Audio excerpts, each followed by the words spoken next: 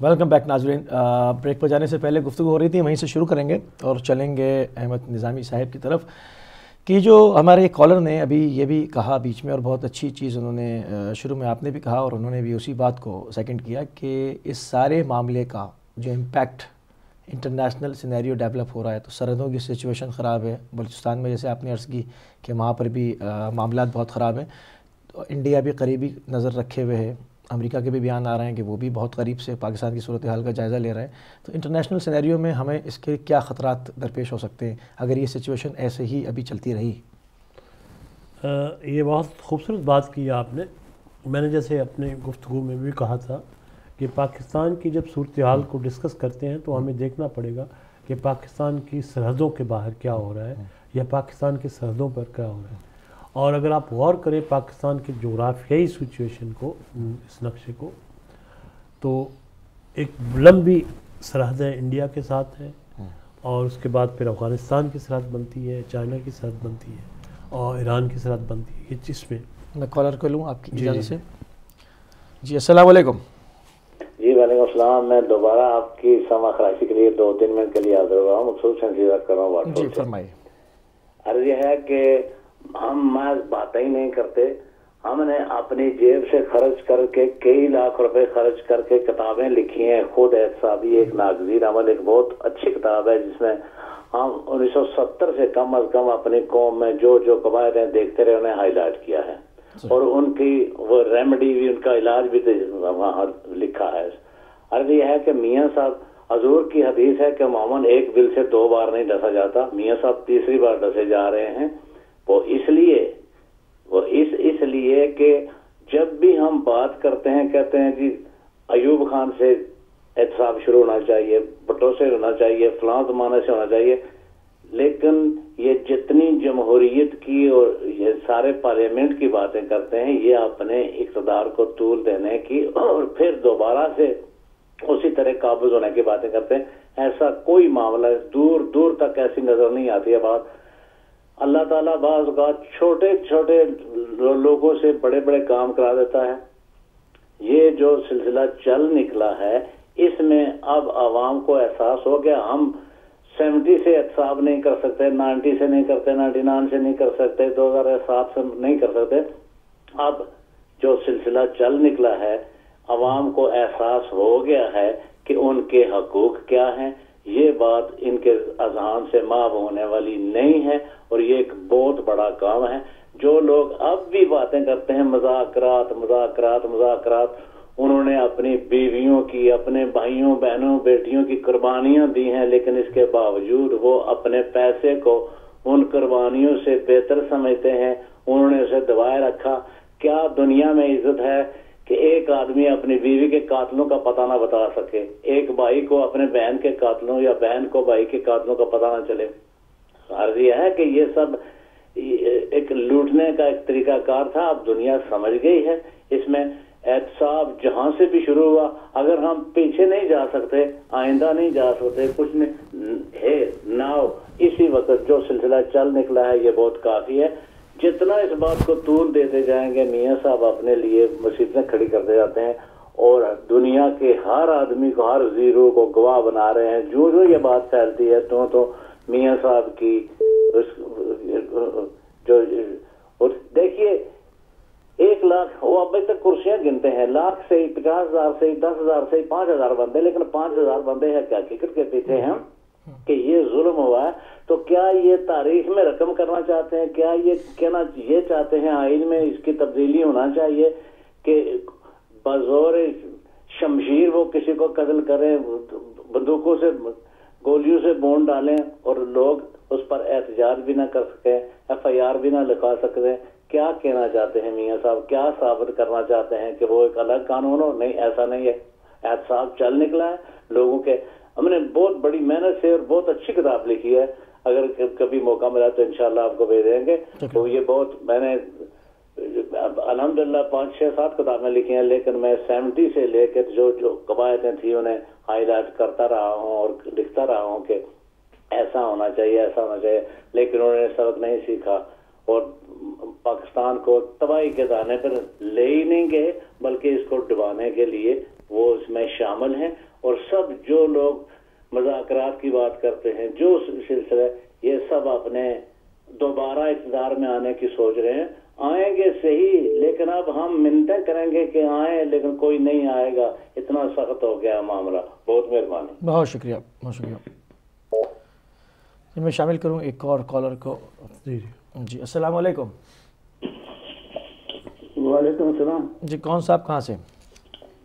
जी खादिम Hussain Manchester से। खादिम हुसैन साहब खुश आमदीद फरमाइए जी मैं अर्ज़ ये करना चाहता हूँ कि मुमकिन है आप मुझसे एग्री हूँ या ना हूँ लेकिन मैंने एक पिक्चर देखी थी कि नवाज़ शरीफ जो है वो अमृतसर में इनके वालदेन जो थे वो एक मिट्टी के मकान में मिट्टी के बने हुए मकान में रहते थे सिखों के साथ। और उसमें उसका बचपन दिखाया गया था। और ये थी इनकी फाइनेंशियल बैकग्राउंड जो इब्तदा से हुई। लेकिन जब ये पाकिस्तान में आए तो इन्होंने एक फाउंड्री सी बनाई। शायद आप मुझसे इस पर भी एग्री करें। इन्होंने गैर कानूनी तौर पर रेलवे के तमाम इंजनों के पुरसे जो थे और पटरियाँ जो थी, उनको दोनों बिल्कुल सस्ते कीमत पर लेकर उसको जलाया, अपने फाउंड्री में मेल्ट किया। तो एक और बात इस फाउंड्री में मैं ये कहना चाहता हूँ बड़े वसूख के साथ मेरे दोस्त हैं तशैयों के बहुत प्रोमिनेंट एक सब तजारत है, वो फौत हो गए हैं। उन्होंने मुझे ये बताया था कि उनके बांजे थे यूरोलॉजिस्ट इन अमेरिका में। और नवाज़ शरीफ साहब अमेरिका से उनको अपने नवाज़ शरीफ हॉस्पिटल में लाए थे। यूरोलॉजी का काम करने किडनी का डायलिसिस का काम कराने के लिए। जब उनका इख्तलाफ हुआ तो नवाज़ शरीफ साहब डॉक्टर इफ्तार साहब को लेकर फाउंड्री में गए और वहाँ एक आदमी को लाया गया और उस फाउंड्री में जला दिया गया इंसान को। और डॉक्टर इफ्तार को बताया गया कि ये देखो इसका कोई सबूत मौजूद नहीं है। ये एक ऑफ़ द रिकॉर्ड बात है जिसका कि मैं सबूत नहीं दे सकता।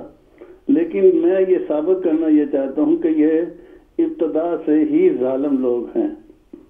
क्योंकि जैसे कि मेरे मोहतरम ये साहब बता रहे थे कि इनकी नर्सरी जो थी, वो जनरल जिया से बनी थी।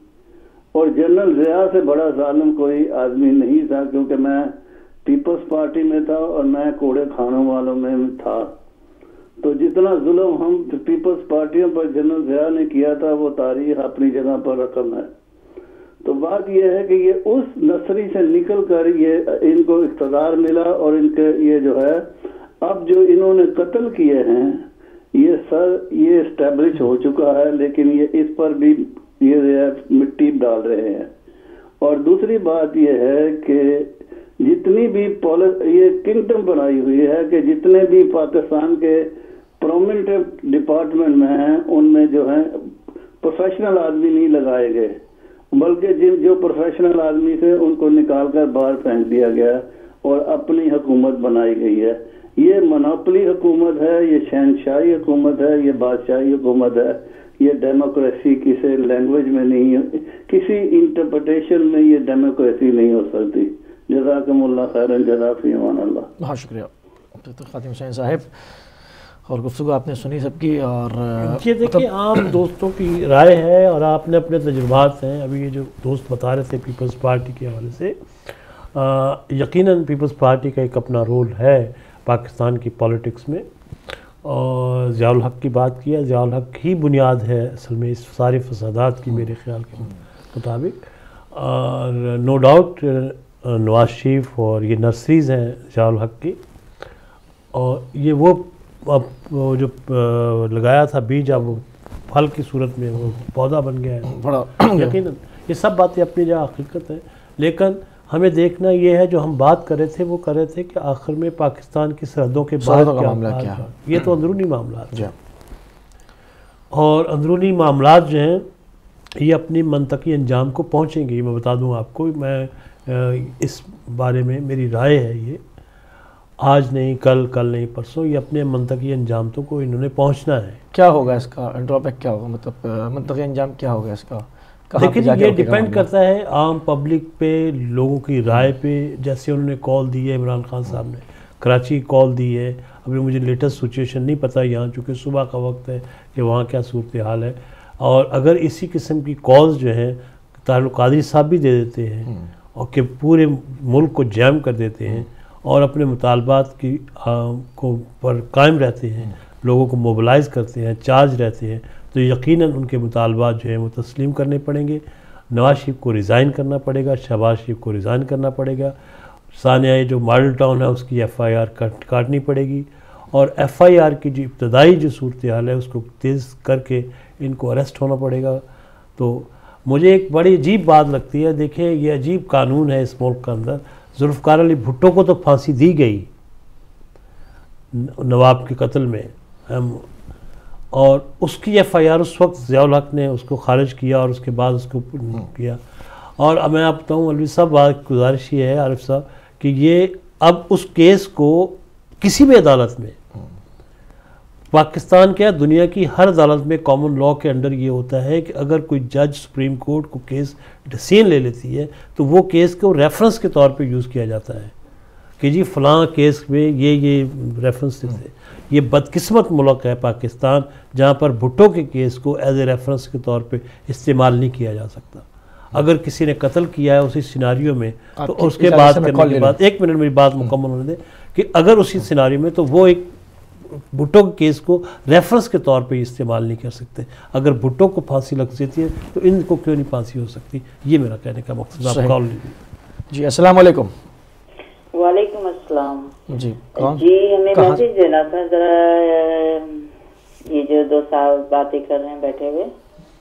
जी जी फरमाइए। इनसे कहिए कि बहुत अच्छी बातें कर रहे हैं माशाल्लाह से।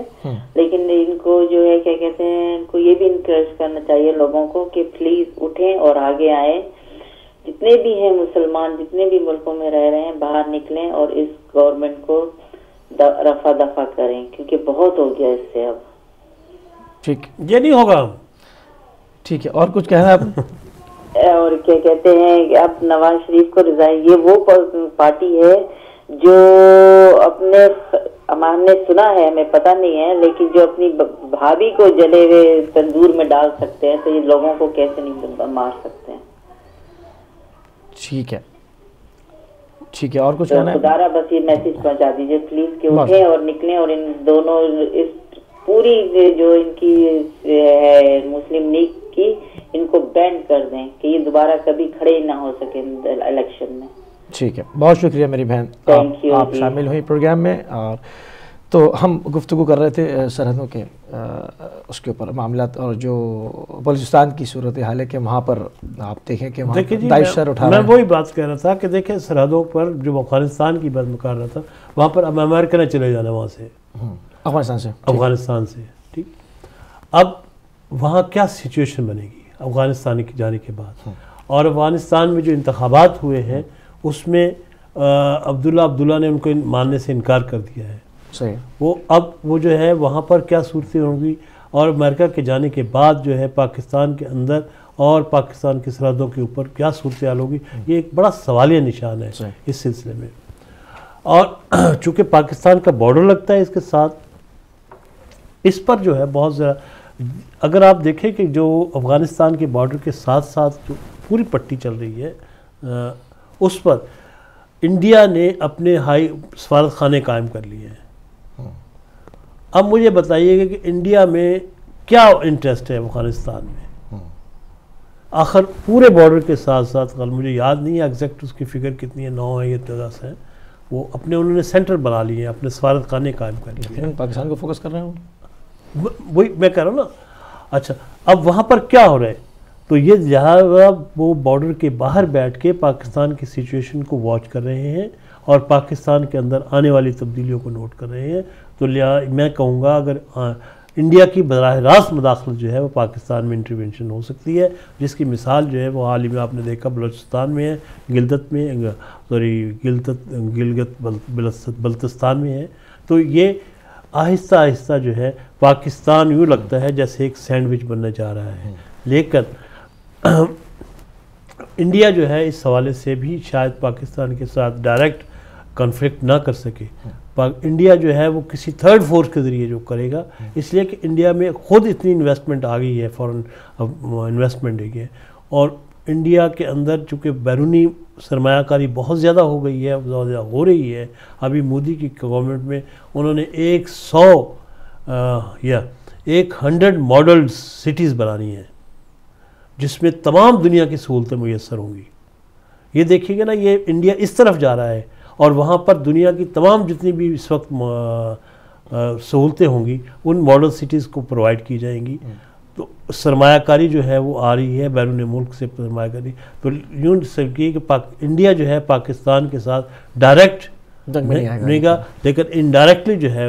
वो through Afghanis through Abdullah Abdullah और दूसरी एजेंसीज के साथ वो मुदाखलत करेगा और पाकिस्तान को कमज़ोर से कमज़ोर तर करने की कोशिश करेगा मौजूदा हुक्मरानों को यही तो मैं बात करने की कोशिश कर रहा हूँ हम्म। कि हमारे पाकिस्तानी अवाम को मौजूदा हुक्मरानों को इस बात पर गौर करना चाहिए कि ये आने वाली सिचुएशन पर कैसे काबू कर सकते हैं और ये बड़ी रुकावट है मौजूदा हुक्मरान जो है इस हवाले से ये बहुत और सेकेंडली जिसमें पाकिस्तान और चाइना के टर्म्स जो हैं वो बहुत ज़्यादा तेज़ी के साथ बहुत करीब से बढ़ रहे हैं। गवादर की पोर्ट का मसला है। गवादर से लेकर चाइना तक अगर रोड चली जाती है हम्म। कायम होती है तो ये तजारती एक जो राग बनेगी राधारी राधारी बनेगी। उससे पाकिस्तान की खुशहाली आएगी। लेकिन इंडिया नहीं चाहेगा दूसरी ताकतें नहीं चाहेंगी इसराइल नहीं चाहेगा कि पाकिस्तान जो है बैसीत कौम चूँकि हम अभी तक तो कौम नहीं है हम तो एक हजूम की सूरत में रह रहे हैं। और हजूम जो है उसका क्राउड जो होता है उसका किसी तरफ़ भी जाने की रुझान हो सकता है। तो जब तक हम बैसीत कौम अपने आप को नहीं सोचेंगे बैसीत कौम हमारा एक लाया तय नहीं होगा। उस वक्त पाकिस्तान की सरहदों पाकिस्तान के अंदर और पाकिस्तान के बाहर ख़तरात जो हैं यूँ ही मुडलाते रहेंगे। ज़रूरत इस बात की है कि हम बैसीत कौम जो है इस पर अमल करें और कौम होने की तरफ़ सोचें। ठीक है मैं कॉल कॉलर को शामिल करता हूँ प्रोग्राम में। जी अस्सलाम वालेकुम। वालेकुम अस्सलाम। जी कहाँ से सिस्टर? मैं बर्मिंगम से रिफत बोल रही हूँ। जी फरमाइए। जी ये मैं प्रोग्राम जो चल रहा है वो देख रही हूँ उसके हवाले से कोई बात करना चाहती हूँ। जी जी आप आने आ रहे हैं आप गुफ्तु फरमाइए। ठीक है। जी फरमाइए। जी मैं ये कहना चाहती हूँ कि प्रोग्राम माशाल्लाह बहुत अच्छा लग रहा है। देख के तो डिप्रेशन के मरीज़ तो हम बन रहे हैं कि हमारे मुल्क में क्या हो रहा है। लेकिन जो हो रहा है वो सही हो रहा है। अच्छा। अगर घर में अगर बाप ठीक नहीं है ना तो वो घर नहीं चलेगा। तो अगर घर मुल्क का हुक्मरान अगर ठीक नहीं है तो वो मुल्क कभी भी नहीं चल सकेगा। यकीन जाने हमारे बच्चे पाकिस्तान जाने से भी घबरा रहे हैं और नाम लेते दस दस साल हो गया हम इस मुल्क में बैठे हुए हैं और बच्चे पाकिस्तान जाने का नाम क्यों नहीं लेते? इन्हीं वजह से नहीं लेते कि वहाँ सब चोर बैठे हुए हैं। हमें कोई सेफ्टी नहीं है कि हम ज़िंदा वापस आएँगे या नहीं आएँगे। सही। तो क्या ख्याल है कि ये जो माँ बहनें बेटियाँ सभी बैठी है इनमें उनकी अपनी माएँ बहनें भी आके बैठे उन्हें पता चले कि तकलीफ़ क्या होती है। सही। लेकिन अफसोस कि उनकी माँ बहनों को तो तकलीफ़ है कोई नहीं। जिनको तकलीफ़ है वही बैठता है ना। बिल्कुल। और कुछ कहना चाहेंगे? जितनी देर तक माँ बच्चा रोए ना ना तो माँ दूध उसको नहीं देती। यही मिसाल है कि अभी वो रो रहे हैं, अपना हक मांग रहे हैं। अगर इनको जरा सी भी गैरत है ना, कि ये हमारे साथ क्या और एक दिन कोई डोर के आगे आके खड़ा होता है ना तो बंदा शर्मिंदगी होती है कि ये कोई मांगने वाला डोर के आगे खड़ा हो गया तो आज पंद्रह बीस दिन हो गया, वो लोग रोडों के ऊपर बैठे हुए हैं। आज हम अपने मुल्कों से दूर क्यों हैं? इसी गरीबी की वजह से है। अपनी मिट्टी से हम दूर क्यों हैं? इन्हीं गलतियों की वजह से जो हुक्मरान कर रहे हैं। हम इधर शीशे के घर में सेफ़ हैं। उधर हम सीमेंट की दीवारों में, लोहे के गेटों में भी हम सेफ़ नहीं है। हम रात को सो नहीं सकते उधर। आज हम जान हथेली पे रख के हम दूसरे मुल्कों में आते हैं और अपनी और अपने बच्चों की सलामती मांगते हैं और बच्चों के लिए रोटी अल्लाह ताला से मांगते हैं। ये मुल्क हमें देर है। इन्हें तहफज भी दिया है। रात को हम सुकून से सोते हैं। बच्चे बाहर रात को दस ग्यारह बजे बेटियाँ काम से वापस आती है। हमें कोई फ़िक्र नहीं होती कि बेटी हमारी सेफ़ घर पहुंचेगी। वहाँ तो दिन को भी नहीं पहुँच सकता कोई। सही। घरों के में कैमरे लगे हुए हैं। जो पीछे हमारे रिलेटिव हैं उनको कहते हैं कैमरा लगाएँ अपनी जान की हिफाजत करें। सुबह उठ के लाजमी फ़ोन करते हैं कि आप सही है ना? तो क्या ये हमारा मुल्क है? ये हमारे हुक्मरान है? जो इतने दावे करते हैं और झूठ पे झूठ बोले जाते हैं। जी पीछे से कहते हैं कि आप लोग ना देखें क्योंकि ऑलरेडी आप मरीज़ है तो आप देखते हैं तो और मरीज़ बन रहे हो लेकिन देखने पे हम मजबूर है हमारे प्यारे उधर बैठे हुए हैं। ये नहीं कि हम इधर बैठे हैं हमें कोई परवाह नहीं हमें यहाँ बैठ के भी उनसे ज़्यादा तकलीफ़ हो रही है। काश हम भी उधर होते उनमें हम भी शामिल होते। बहुत शुक्रिया बहुत शुक्रिया ठीक अच्छा है जी बहुत वक्त देने का बहुत बहुत शुक्रिया। बहुत शुक्रिया आपने। इस कॉलर में एक बड़ी खूबसूरत बात है अगर कॉलर है जी हाँ एक तो कॉलर और मैं कॉलर जी। अस्सलाम वालेकुम। हेलो। जी अस्सलाम वालेकुम। वालेकुम सलाम जी। कौन साहब कहाँ से? मैं जी एस बुखारी कोपनहेगन से बोल रहा हूँ जी डेनमार्क से। बुखारी साहब जनाब। हाँ जी। फरमाइए तो फरमाइए। वो जो लोग उधर डेमोस्ट्रेशन में बैठे हुए हैं इमरान खान के साथ और डॉक्टर तारिक कादरी के साथ तो हमारी को मौजूदा गवर्नमेंट या नवाज़ शरीफ साहब को जो है वो फ़ौरन से पहले रिजाइन देना चाहिए। क्योंकि जो उन्होंने मतलब है कि आज कल कल जो बात की है पार्लियामेंट पे हाउस ऑफ़ तफसो वो जो है अपने मतलब है कि झूठ की वजह से जो है वो जानदार और 62 और 63 आर्टिकल तहत जो वो पूरे नहीं उतरते और ऐसे बदयानत लोगों के हवाले जो है मुल्क को नहीं करना चाहिए। अवाम को बाहर निकलना चाहिए और फौज को भी सोचना चाहिए कि फौज की जो इंसर्ट हुई है तो जनाब राहिल शरीफ साहब से हम अपील करते हैं कि बरए मेहरबानी इंटरवेन करें। हम ये नहीं कहते हैं कि मार्शल लॉ लगाए। कम अज कम इनको हदायत के लिए कम अज कम बताए कि ये बात दुरुस्त नहीं है। सही। हेलो? जी जी जी जी मैं सुन रहा हूँ। हाँ जी। तो ये हम जो बाहर बैठे हुए हैं हमें ज़्यादा मतलब है लोगों को जो दर्द हो रहा है। ये मुल्क में क्या हो रहा है क्या नहीं हुआ? दुनिया में दुनिया में अगर एक आदमी मतलब मार जाता है वो जो थाईलैंड में देखें जो गैर मुस्लिम है वो लोग बुद्ध लोग बुद्ध मज़हब के लोग हैं। तो उनकी जो प्राइम मिनिस्टर जो है रोते हुए जो है रिजाइन देगी और उधर क्या नाम साउथ अफ्रीका में भी साउथ कोरिया में भी। तो क्या हम मुसलमानों को यही मतलब स्टेटस रहेगा कि इंसानियत और एहसास की है कोई नहीं इनको ये बैठे हुए हैं अपने महलों में और हंस रहे हैं ये लोग देखो इनकी कुर्सियाँ खाली हुई हैं उनका ये है उनका वो है। सही। बहुत शुक्रिया। जी। बहुत शुक्रिया बुखारी साहब। बहुत हाँ। खूबसूरत गुफ्तु की। बहुत शुक्रिया हमारे प्रोग्राम में शामिल हुए। खुदा। हाँ तो जज्बात आप मैं बता रहा हूँ देखिए अगर कभी आपको वक्त मिले एक जो इससे पहले कॉलर थी उन्होंने बड़ी अच्छी बात की थी। वो जिस पे आपको कभी वक्त मिले तो एक प्रोग्राम पूरा करना चाहिए कि बच्चे यहाँ से पाकिस्तान में क्यों नहीं जाना चाहते? हैं डरते हैं ना? हाँ, और पाकिस्तान का और यहाँ जो बैरून मुल्क पाकिस्तानी है उनका आपस में क्या लिंक है? आखिर में पाकिस्तान में बच्चों को जाना चाहिए या नहीं जाना चाहिए? अगर वालदेन वहाँ लेके जाएँ तो वो गैर महफूज है। इस इशू पे कभी बात हो तो बहुत ज़्यादा बिल्कुल इसके ऊपर दूसरी बात है। पूरा इसके ऊपर एक डिबेट होनी बहुत ज़रा एक ज़रूरी प्रोग्राम होना चाहिए इसके ऊपर। दूसरी जो उन्होंने बात कही है अभी जो कॉलर थे आपके। जी हाँ बुखारी साहब। बुखारी साहब। उन्होंने मिसाल दी है जो तैयारा गिरा और वो रिज़ाइन कर गए असम्बली में यहाँ पे हमने देखा ही वेस्ट में तकरीबन जो है छोटी सी बात होती है। यहाँ रेलवे का हादसा हुआ था पूरा रेलवे मिनिस्टर रिज़ाइन कर गए थे। तो इमरान खान की ये बात बहुत दुरुस्त है कि जब किसी पे इल्ज़ाम आ जाए कि ये इंसिडेंट मेरे इलाके में हुआ है और मेरी वजह से हुआ है, मेरी इकतदार की वजह से हुआ है, ये मेरी अंडर निगरानी हुआ है तो उसको रिज़ाइन करना चाहिए। ये इंसानियत का असूल है, हुक्मरानियत का असूल है। और अगर आप अलग होकर रिज़ाइन करने के बाद अगर वो तफ्तीश होती है, आपको बेगुनाह साबित करते हैं तो फिर आप तशरीफ़ लाइए, आप इकतदार कीजिएगा। लेकिन जब तो आप पर इल्ज़ाम लग जाए, सानिया मॉडल टाउन कोई छोटा सानिया नहीं है, बहुत बड़ा वाक़ है ये, छोटा वाक़ नहीं है। हमने टीवी पर देखा है, लोगों को देखता है, मरते हुए देखा है। मुझे इतना अफसोस होता है उस पिक्चर को देखते हुए, एक बुज़ुर्ग आदमी के जब वो बाल खींच रहे हैं और उसको मार रहे हैं और गोलियाँ सीधी चल रही हैं। वो इस किस्म की दहशत, इस किस्म की वहशत, वो वो सब जो चीज़ें हैं, उसको देखते हुए इनको चाहिए कि रिज़ाइन करें। अदरवाइज़ तो अवामी प्रेशर तो है ही उसके नतीजे में, जो भी होगा देखते हैं। चलिए, ये सिलसिला गुफ्तु का आपसे भी जारी रहेगा और एक मुख्तसर सी ब्रेक का कहा जा रहा है। हम चलते हैं एक ब्रेक पर, वापस आएँगे तो यहीं से इसको कंटिन्यू करेंगे।